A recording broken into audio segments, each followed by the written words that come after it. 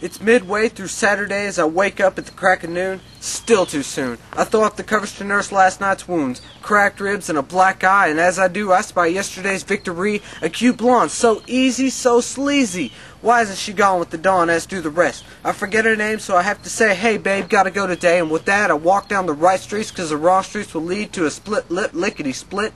As I'm heading downtown, I decide to vex my ex with a well placed text and call it my next conquest with a cool, calm exterior. Cause after last night, I can't let him see me sweating or fretting, cause I'm betting that I'll be getting phone calls from all my ladies wondering why I was shady last night. Well, holding down one girl is alright, but try juggling three at one party. Hardly feasible. So I made use of my PhD in polygamy, and all the women see is a facade of the real me.